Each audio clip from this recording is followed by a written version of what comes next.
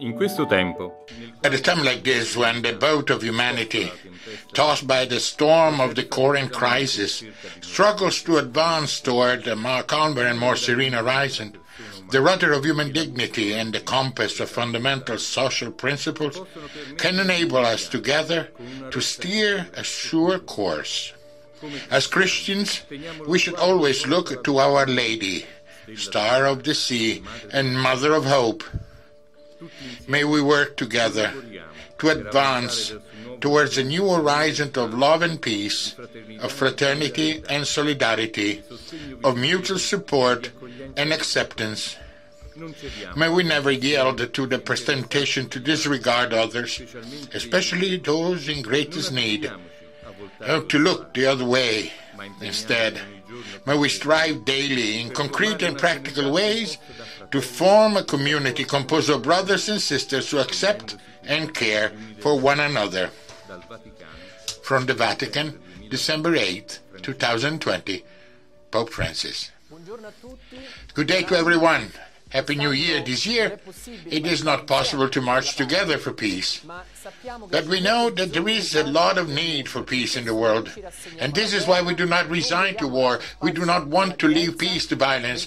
And in this 1st of January, World Day of Peace, we leave a space in our heart to words of peace. It will be a virtual march with different steps that we begin by listening to the words of the President of the Community of Sant'Egidio, Marco Impagliazzo. Good day and Happy New Year. The year that begins, the 2021, opens with the good news of the COVID 19 vaccine. A vaccine that was uh, never achieved so quickly and so widely. It is the fruit of a common effort that foreshadows a new time to face together. And we have also hope that the vaccine may be for everyone and may reach everyone. Never as the year that has passed we've understood how the entire humanity is on the same boat and faces together the sea of life in the good or in evil. If we really think about it, there is an intimate solidarity between human beings in suffering as well as in hope. If someone suffers from war, it means that sooner or later everyone will suffer from it. We all suffer. Consequently, everyone must be aware of it, and we should be involved in bringing war to an end. And the initiative of today, it works in this direction. As you know, unfortunately, also this year war has not disappeared from the world, on the contrary. However, in spite of the attitude, some lights in the darkness have been seen. Step forwards in the peace agreement for South Sudan were done here in this very room in Sant'Egidio, as well as the agreements between some Arab countries and Israel. They are a sign that peace is always possible, even when war has been going on for a long time. This shows what our commitment could be. To always make the voice of the reason for peace heard, because peace is also reasonable beside human, and never accept that it is voice to be silent, because there can always be someone who listens to this voice, even when we do not believe it is possible. Giving voice to peace is our commitment to fraternity among all. It is the theme of Pope Francis' encyclical Fratelli Tutti. The urgency that a voice of peace always be present so that it could be heard. We observed it also in everyday life, not only in the great international issues. If in a city war is waged against someone, between brackets, that is, we insult them, we humiliate, we marginalize them, for example, against a minority, or for religious or ethnical reasons, or against a class, or against the poor. The city itself splits. It becomes divided, and it becomes poorer. Inside this city, the voices of peace must be resounded so that someone may re- listen to it and may restore hope.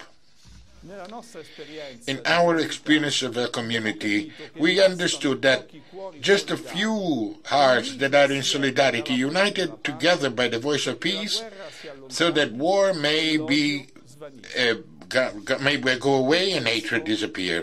For this reason, in order to prepare a future of peace for everyone, including ourselves, we need to make this voice, the voice of peace, heard everywhere. This is the reason why, the great, the most important reason why we're celebrating today, virtually, of course, because of COVID 19, the Peace Day 2020, together with Pope Francis and to all the Church. This day was called by Pope Paul VI in 1968. These are many years that we gather in the name of peace, and we are not tired of doing it. In order to remember to everyone and to ourselves more that it's worth talking about peace, it is worthwhile fighting for peace in the hearts of all men and women all over the world. Just talking about peace, the word peace, it frees us from powerlessness, it frees us from loneliness and violence. Our goal is clear never to forget the value of peace, but also transform the love of peace into a continuous narration that brings men and women closer together, thus defeating in their spirit or rancor animosity, and fear. Let me say, we, there, there should all be, there must be like a parable of peace that every day is told to everyone. That is told everyone as an utopian that defeats harsh realism, an utopia that gives back courage to the disappointed and strengthens the disaffected and the young. Every day we must say that peace is needed to, for a better life, and peace must always be possible. It is beautiful that with this peace, peace spirit, we enter into the new year without giving away to the hope that once, one day, war may be abolished. Past generations. Were able to abolish slavery, the honor of our generation could be that of a decisive step that abolishes war. In 2020, we have seen too much death, not to love life more, in every phase and every season. Too much war death we have seen. This is why we love life more. We need to converge all so that everyone is cared for and that all are guaranteed a peaceful future. We all await a new time, but in order for it to be new, it must be for everyone. This is the dream we want to realize, and this is why we say it together peace in all land. Good, good Happy New Year to all of you. Yes, truly. Peace in all lands. And this is why our march, uh, virtual march, leads us to countries that are different. And the first step is Africa, where peace passes through taking care of those who are ill. And they accompany in this, in this march, it is Paola Germano and Nuccia. In his message, Pope Francis tells us that there's no peace without a culture of care.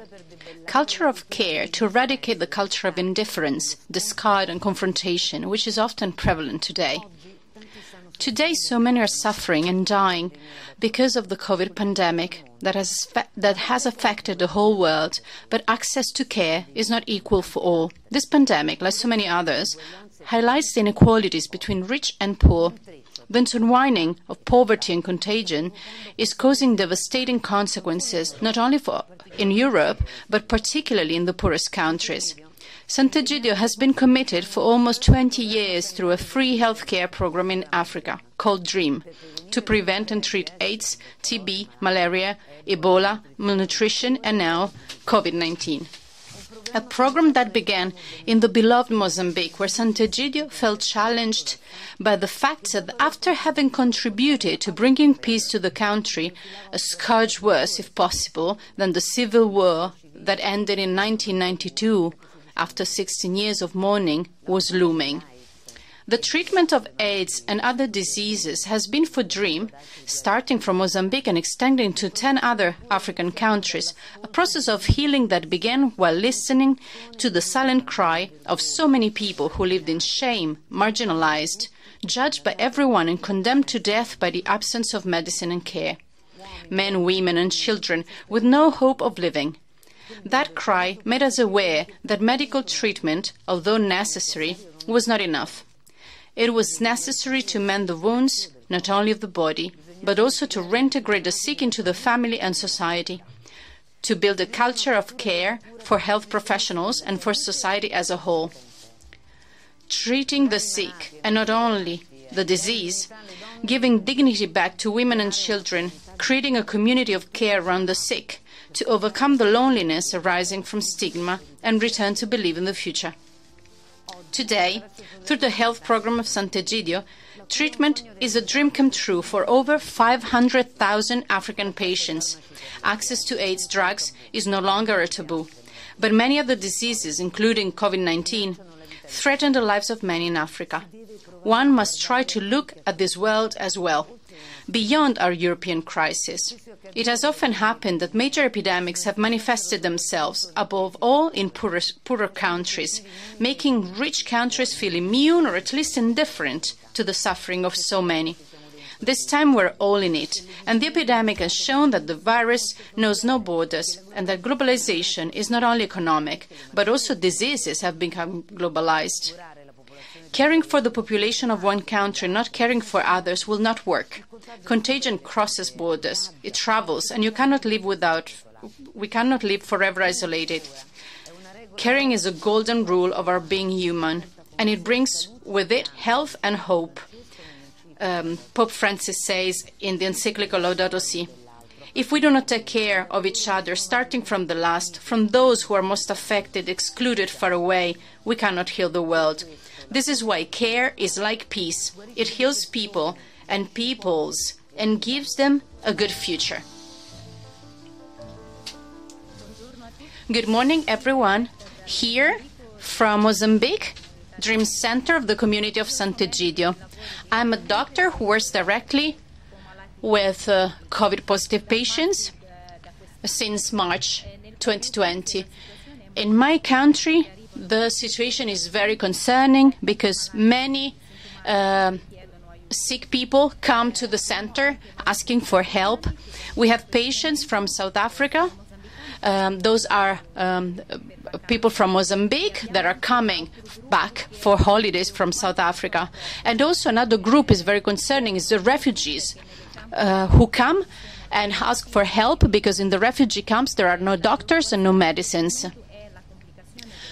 So, what is most concerning now is that uh, uh, how the, the disease is getting complicated for many who cross the countries without the testing. So, the problem is that we have very few resources. What we do here in the Dream Center, we offer everyone the mask, health education, we do the swabbing. Uh, not only for the sick person, but for the whole family to tailor the treatment. So we educate to uh, for people to understand prevention, uh, for the families, for the society, and to help others to understand the symptoms as a sign of alarm.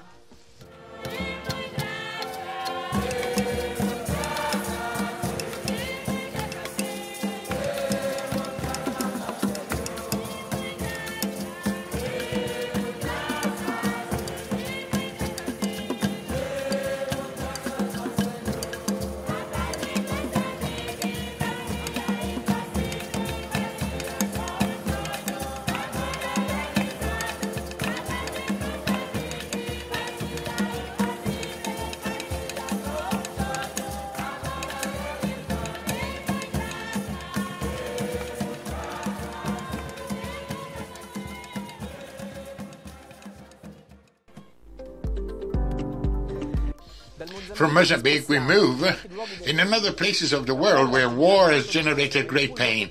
But where peace it is still possible. And we are accompanied on this, in this trip Daniela Pompei, who is committed in creating humanitarian corridors. In the year 2020, European countries have closed their borders even further due to the pandemic.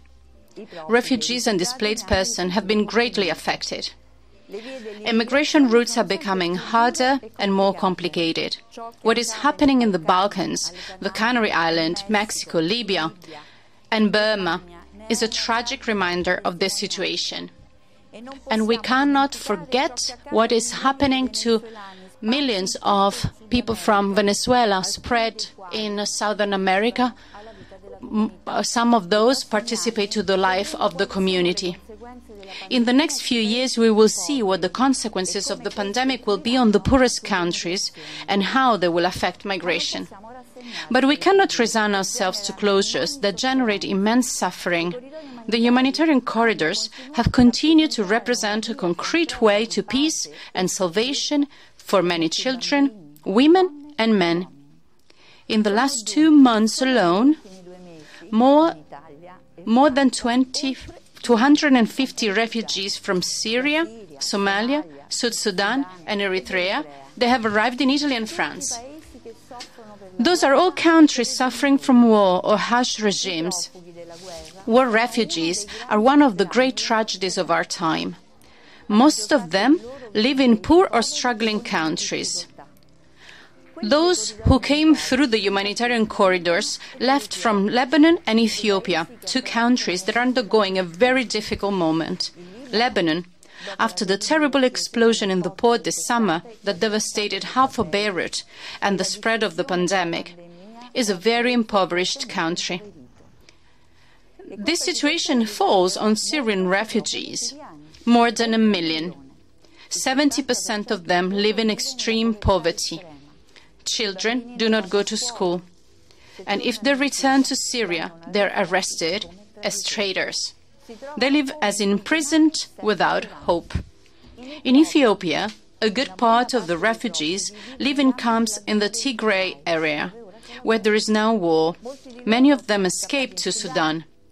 Refugees born in the camps who have known only tents, dust, war, and flight. Since 2016, with the humanitarian corridors, more than 3,500 refugees have arrived in Europe, most of them in Italy. A new agreement was signed with the Italian government last September for 300 refugees from Greece, in particular from Lesbos. In a few weeks, the first of them will arrive in Rome.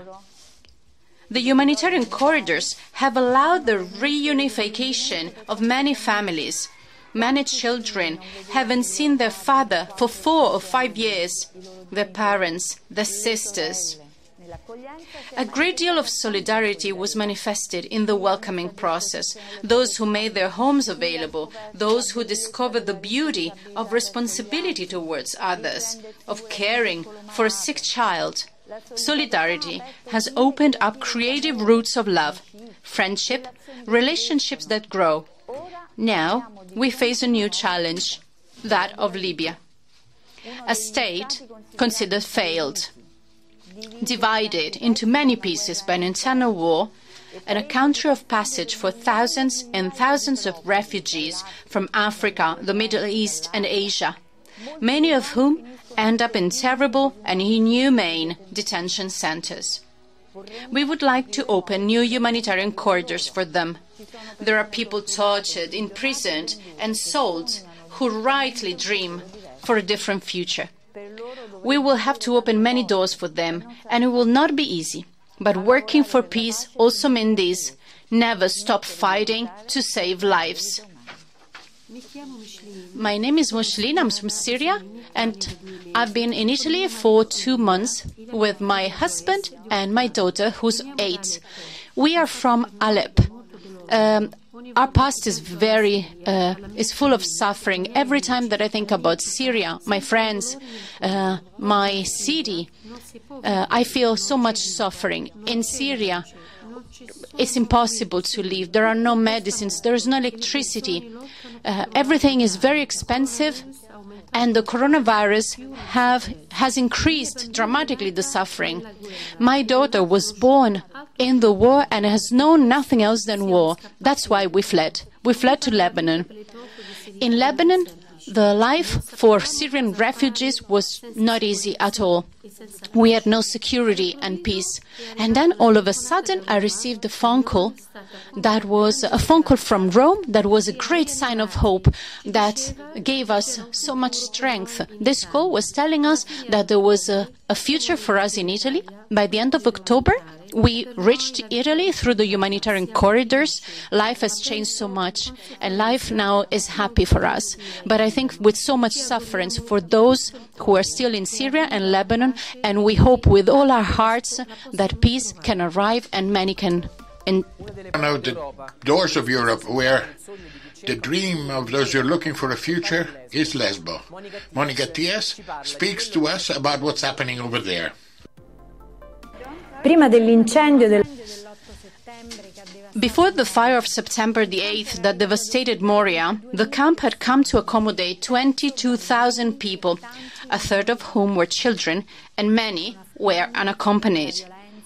There were Afghans fleeing violence, Syrians exiled from a war that has lasted more than 11 years, and refugees from Africa, including many women victims of trafficking. Here they wait to hear, sometimes for years, the outcome of their application for international protection with the fear of being returned to Turkey, a country considered safe by Europe. During the summer, our first commitment was to feed everyone. We offered food and dignity to people who had not sat down to eat with their families for a long time. At the Friendship Restaurant, in compliance with anti COVID rules, the meal is served at the table. So many young refugees from the camp served themselves with us, overcoming the rivalries that exist between different national groups. They told us, helping others revives hope. With the unaccompanied mi- minors, we experience moment of a forgotten normality, an outing, an ice cream. In fact, refugees are not even allowed to swim in the sea. And then the English courses for adults and adolescents and the School of Peace for 250 children. Many had never been to school before. What do the children of Lesbos dream of? A home and education, like Fatima, who is 11 and teaches other girls. This desire for a future must be welcomed by Europe. After the fire, the refugees left with nothing poured out onto the streets where they lived without any shelter. Today, there is a new camp that is called Moria 2.0. There are about 8,000 people left in tents, a few meters from the sea. After four months, there is still no electricity and there are no showers. With every rain, the tents flood. The army distributes food only once a day. They need everything clothes, blankets. The situation is aggravated by a lockdown of the camps that has lasted for more than nine months. Desperation has grown. Faced with this situation, the first great dream, which is also a commitment, is to help empty the camps through the humanitarian corridors. In the coming months, 300 vulnerable people and accompanied minors will arrive in Italy. The first 30 will arrive in January. We hope that they will finally be able to start a new life and that they will find acceptance and peace. Thank you, Monica. Truly a good news that makes us begin this year with a sign of peace and hope for everyone. And let us go back in Africa, in Mozambique again, a country that we love so much that unfortunately so it's shaken by violence, and then into countries where we have planted in this last uh, two months, last months as uh, seeds of peace. Now the word to Chiara Torrini, who speaks from Nampula. Good morning and Happy New Year to, from Mozambique, the country where I'm now. In the last few weeks, I've been visiting a few uh, cities and villages and uh, centers for refugees from the northern country. In the province of Cabo Delgado, uh, from 2017 um, has witnessed cruel terroristic attacks from groups that the population calls Al Shabaab. The population is very poor. It's mainly uh, of, made of uh, farmers and fishermen, and they flee from these terrible terrorist attacks that have led 500,000 people to flee and the death of roughly 2,000 people. So, by visiting, we have uh, seen so many dramatic situations. I've met Tina, an elderly, who during an attack she tried to save her nephew, who was two. She was reached by terrorists, and uh, they took the ch- the child from her hands, and they killed him with a machete. And I met Tina, who has witnessed the beheading of her husband. Her youngest child did not speak for months. I met another elderly on the beach of Pemba, a beach where uh, a couple of months ago many who were fleeing arrived with small boats, and this man told us about his long fleeing through the forest and the sea, and while they were in the forest, his mother died of starvation. And so many die because of lack of food, of water, of infections. So many have been in the forest for, for weeks and weeks and walked for uh, dozens of kilometers, uh, elderly, children, uh, pregnant women. For the last months, uh, the community of Sant'Egidio have distributed food in these camps, but also in the houses where these families have been welcomed. In these houses, we have, find, we have found very difficult situations. It's very small places. Um, those are shared by 40, 50 people, or uh, homes where only elderly live or women with their children. Something that I was very touched by is the great suffering, but the great dignity of these people and the willingness to the hope for peace of all these people.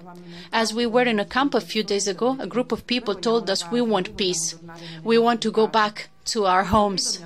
And this cry has touched me deeply and reminds me that really, indeed, the war is the mother of all poverty, of poverties. Thank you.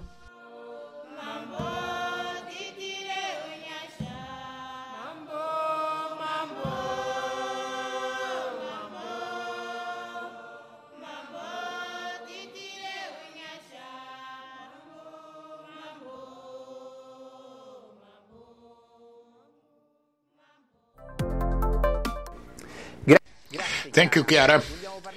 We want to talk about South Sudan, our country that the community has loved for many years, since before its independence. The first South Sudanese came to Rome in 1991. It is a long history of friendship with a people that has suffered a lot. That's why the community wanted to take up Pope Francis' invitation to support the peace process that was signed in 2018. And we wanted to involve in the peace agreement all those armed groups that have been left out. Here they are in Rome the early next year. You know that the community of Sant'Egidio does not any other economical, political interest in South Sudan. Our interest is your peace. And we believe that you can give yourself peace. You can you can be, be part of history as the fathers of peace in your country. And your name will be remembered as a blessing. The true victory true victory is finding what unites. And I want to remind you, our Pope Francis made a gesture. He bowed in front of all the leaders, kissing them their feet. The whole world was amazed of this action. How can we not be ashamed when we think that South Sudan has no peace yet. We are not here to accuse each, each other or to return on the wrongs that we suffered of the past. But we are here to listen to the call of the people of South Sudan, which is peace. It is peace. Pope Francis gave a leader to South Sudan a Bible with this dedication Seek what unites, overcome what divides. In this phrase encapsulates the community's method for political dialogue. It is a simple method that has restored confidence to too many who did not see a possible solution to this crisis. Today, everyone look forward with hope and even more support the initiative of the community. Since the beginning of 2020, we have taken many steps forward, rebuilding trust, committing to respect the ceasefire. The different parties discussed the root of their conflict. Now I would like to pass the floor to those who have been the protagonists of the Rome Initiative for South Sudan, the representatives of the government and of the opposition. We agreed on a very important step that the people of South Sudan need. The cessation of hostilities is important because it gives our people the, the silence of the weapons.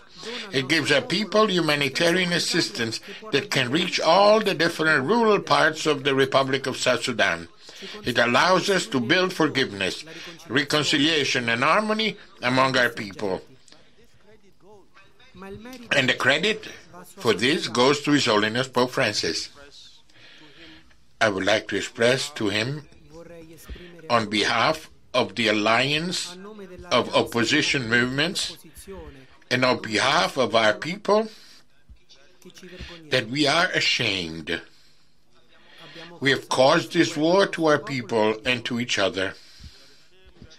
We are ashamed that peace has been delayed and deluded, despite not, notwithstanding your call. We heard it. Dialogue heals wounds, takes away space for violence, decreases clashes. There is still a long way to go. Weapons, which are still widespread in South Sudan, have not completely stopped firing. The pandemic interrupted for some months the political dialogue that has now started again. I would like to end by joining Pope Francis' Christmas wish to the country's leaders. It is that they grow in trust and serve people of South Sudan with greater generosity. The Central African Republic has lived in these days moment of tension because of the presidential and legislative elections. Unfortunately, some armed groups and some political parties have tried to prevent the people from voting, and there have been several clashes in the countries. Despite this, Central Africans have voted, and this is a good news in a country that has seen many, too many coups throughout its history. Sant'Egidio, after having worked in 2013 for the Republican Pact and since 2016 with armed groups, remains at the side of Central Africa through various initiatives, both at the political and humanitarian dialogue. In particular, in the last year and a half, we wanted to support the disarmament of armed groups through the distribution of basic necessities and a work on sensitization of the population that Ibrahim from Bangui tells us about. Happy 2021 of peace from Bangui, capital of the Central African Republic. My name is Ibrahim Sanfrede, and with the community of Sant'Egidio, I've been committed since 2014 to peace and reconciliation. My country has experienced many painful moments where violence has gripped the lives of men and women. Many believe that a peaceful future is not possible and that the Central African Republic will always remain plagued by violence. A country of enormous wealth, but extremely poor. We don't believe this.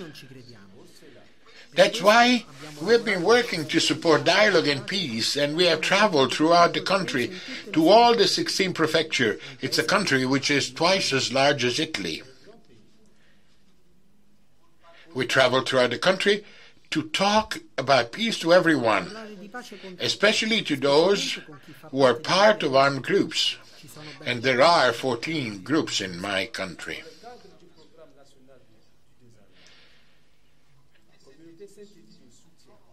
As part of the National Disarmament Group, Sant'Egidio supports ex-combatants who have chosen for peace and have opted for reintegration in several towns and villages, Zukombo, Bouar, Faro, Aba, Kui, Beloko, Kaunde, and Yemyelewa.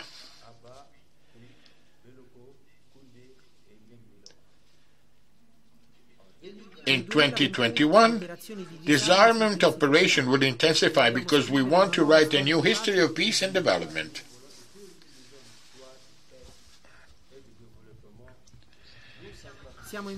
We are marching virtually but wholeheartedly with you to St. Peter's Square. Peace indeed is possible. Thank you, Ibrahim. We are happy to march together with you to many Central Africans who are looking for peace. But this movement of peace involves everyone, and everyone can take part to it in every place of the world and at every age, as we will be told by Michela from the World Youth, for Peace movement. Hello, everyone. I'm Michela from the Youth for Peace of Tor Bella Monaca. Often at school, we're taught to read, to write, to count. Maybe we even learn a bit of education, but never anyone teaches us not to discriminate, to leave at home our prejudices together with the racist feelings. Yes, sometimes we lack someone who teaches us to live in peace. We realize this when episodes of violence occur that seems incomprehensible, like the one in which, a few months ago, Will, Willie, lost his life here near Rome. This violence is absurd, but it's not a sudden outburst. It is the fruit of a world that does not teach us to live together in peace. With the Youth for Peace, we have chosen to help anyone in need the children, the elderly, and all who are in need. Sometimes there is a risk of getting discouraged because there are so many difficulties. But a young person who chooses peace also pushes others to make that choice. Youth for Peace are all over the world, and when every year we meet with our friends from all over Europe, we realize that peace is young. Being together gives us strength and courage, and we know that we're not alone and that peace is possible. This year, too, via web, for the COVID, we learned to get out of our comfort zone to try to do as much good as possible. All this, however, we do not do alone, but we do it together through friendship, and this is what makes us truly the Youth for Peace. Even in Tor Bella Monaca, among the grey buildings, there's a wonderful school of peace, where children are protected, where they play and learn to be friends. I've been going to the School of Peace for two years now. When you start, you feel lost, a little out of place. You're there to help, but you don't really know what to do. But then you realize that there is not much difference between those who help and those who are helped. By now, you're part of a big family in which you grew up together. And then you realize that you have become a reference point for a child, like an older sister. Peace is also this. In a neighborhood where the lives of young people are ruined by drugs, there is a home for everyone. And the grey neighborhood becomes colorful, full of life. Thanks also to the beautiful murals which were made a few days ago on the walls of our center. In the end, the important thing, in my opinion, is not to forget why we're doing all this.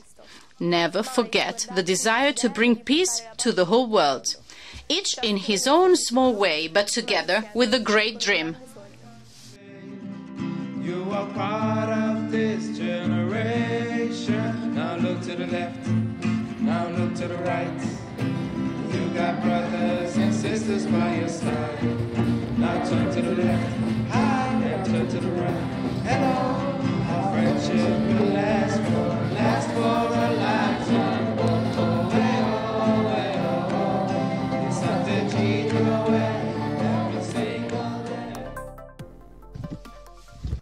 And while we approach this virtual march to St. Peter's Square, we carry in our heart the suffering of all the people and also the Rohingya people that Pope Francis remembered in his message to Christmas.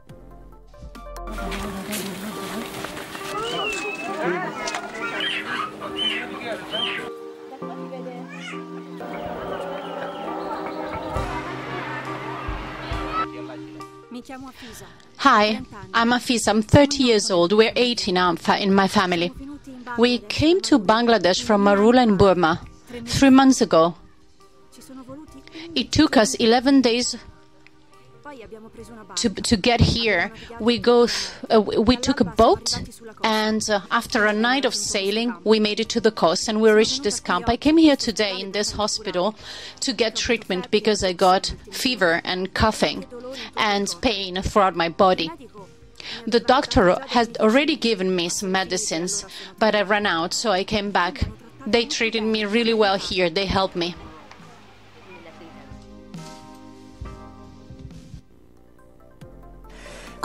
Pues Building peace requires the commitment of everyone, but most of all our prayer.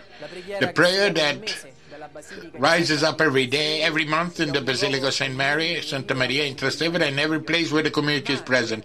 But also the prayer for peace that sees uh, praying one next to the other people of different faith and religions, as it happened on the 20th of October in the Campidoglio Square. And now we want to listen to some words of Professor Andrea Riccardi that were pronounced in that moment. Today, religious communities have prayed side by side. And now they are addressing to some representatives a message of peace. The great watershed of the meeting of Assisi, wanted by John de Paul II in 1986, for which we speak, sp- still speak of the spirit of Assisi, was that religions did not continue to live nor to pray one against the other, as in the long centuries of extraneousness or hatred. Today, they pray side by side. From common prayer, the word gushes forth. The world is thirsty for true words that enlighten the future, which is so uncertain. In many countries, it is a critical moment in which we cannot remain silent. We must give voice and solidarity to the people impoverished by the pandemic to those who have suffered for too long, to those who suffer from wars that are still ongoing, almost all forgotten. Because today we are mainly focused on our diseases or our own problems. War is the mother of all poverty, the fruits of which are also the refugees who knock on our doors believers and leaders of religions, different religions, have prayed together tonight. And the message that religions manifest, coming together, is that we are not saved alone, on our own or against the others. Not saving ourselves alone opens the way to shared vision and a dream about humanity. Pope Francis wrote, We dream as one humanity, as wayfarers made of the same human flesh, as children of this same earth that is home to us all. So believers dream. They help those in need to dream of liberation from poverty, the sick, the victims of war, starting with the children, the refugees. Religions have a meaning that appears to be small, but it's great to liberate the basis of goodness of humanity, to seek it where it is hidden. Thank you.